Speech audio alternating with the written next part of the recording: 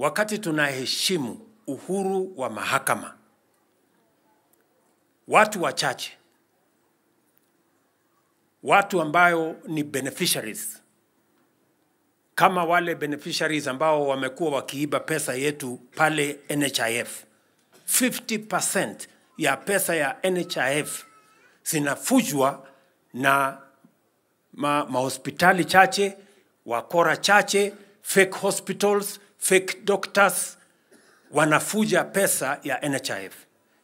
Tumesema ya kwamba tunabadilisha sheria. Hawa wabunge wamebadilisha sheria. Mimi nimeweka kidole, imekuwa sheria ya Kenya kwamba sasa tutabadilisha vile mambo ya NHIF inaenda mbele, ili tuzuie pesa ya umma isipotee.